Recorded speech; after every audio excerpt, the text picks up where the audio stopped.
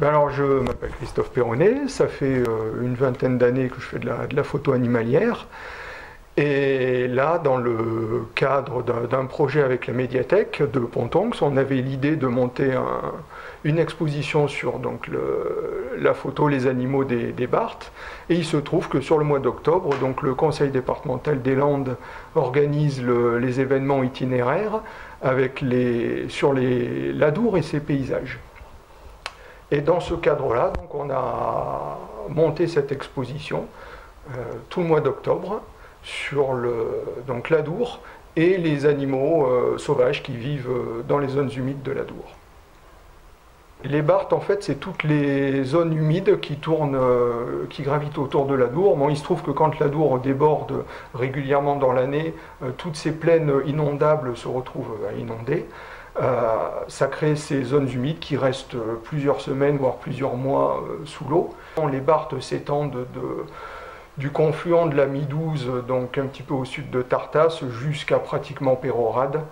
Euh, donc voilà, c'est toutes ces zones-là qui, sont des, des, milieux assez particuliers. Euh, vu qu'elles sont très souvent inondées, on retrouve une avifaune assez particulière, beaucoup d'oiseaux, des espèces euh, qu'on ne trouve que là-dedans.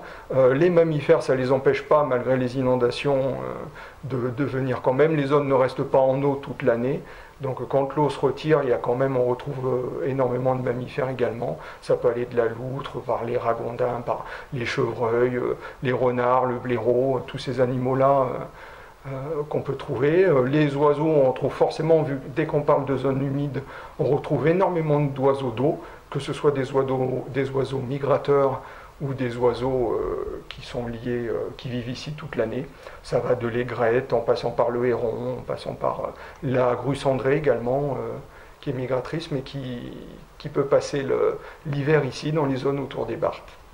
Je trouve que c'est vrai que c'est important de, communiquer là-dessus, de montrer euh, un petit peu plus mon travail. Donc j'en profite euh, par l'intermédiaire de cette exposition-là, par l'intermédiaire des réseaux, sociaux, de pouvoir me faire connaître mon travail, commencer à montrer un petit peu toute cette nature, parce que c'est vrai que même si on est dans un département, les Landes, où, la nature est, très présente, mais les gens s'éloignent un petit peu de tout ce monde de la nature, on est de plus en plus urbain.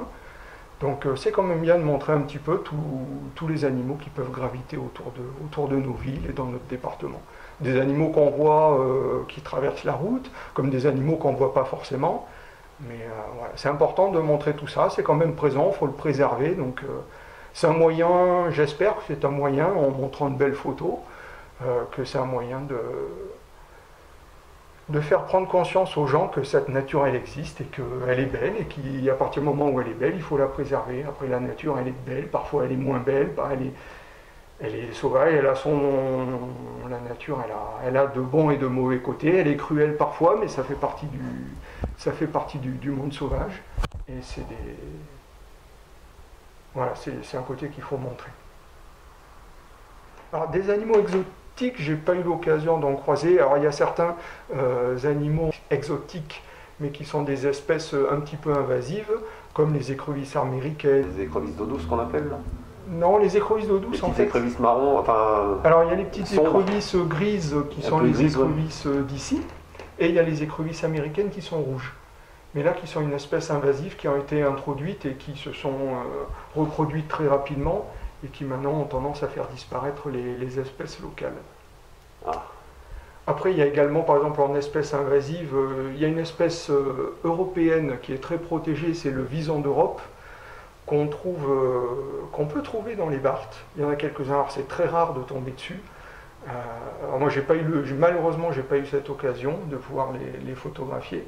Mais par contre, ce vison d'Europe est soumis à une énorme concurrence d'une espèce invasive qui s'appelle le vison d'Amérique, qui a été introduit, qui s'est reproduit pas mal euh, dans toutes les zones humides, qui est plus agressif et qui a tendance à chasser du coup notre vison européen. En 20 ans, vous avez noté des changements, de l'évolution, en bien, en moins bien, l'environnement En 20 ans, oui, euh, les, évolutions, je pense que c'est comme euh, tous les gens qui, qui passent un petit peu de temps dans la nature, on voit forcément des évolutions, notamment sur tout ce qui est euh, les oiseaux. J'ai remarqué qu'il y a beaucoup moins d'oiseaux qu'avant, notamment les passereaux. Les passereaux hivernaux, on voyait de gros vols. Il y a quelques années, de moins, on voit de moins en moins de, de ces gros vols de passereaux. Il y a des espèces, après, à contrario, des espèces qu'on voyait peu il y a quelques années, qui étaient plus afféodées à des milieux plus au sud, un petit peu plus au chaud, et qui sont remontées, euh, comme euh, les, grandes aigrettes, comme tout ce qui est les hérons garde-bœufs qu'on voyait, et beaucoup moins dans le département, et depuis maintenant 10-15 ans, on les voit davantage. Il y a des espèces moins affiliées au Barthes, mais par exemple le pic noir, qui était une espèce qu'on voyait en montagne, que maintenant on commence à l'avoir dans les Landes un petit peu partout. Euh, Après, sur les, mammifères, moins de changements. Ces changements au niveau des mammifères, ils sont plus liés aux pressions, de chasse qu'il peut y avoir, mais euh, il y a moins de, gros mouvements au niveau des mammifères.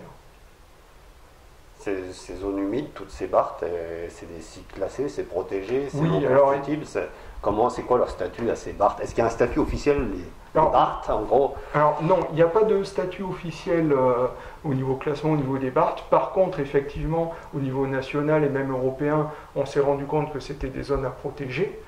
Et donc euh, la plupart des, pas toutes, pas toutes les Barthes, mais la plupart des zones qui, tournent des Barthes, donc comme je disais, qui s'étendent du sud de Tartas jusqu'à Pérorade, une grande partie sont classées au niveau euh, Natura 2000. Ça permet comme ça de, concilier un petit peu toute l'activité humaine avec la protection de la nature, au travers de certaines lois et au travers de certains actes.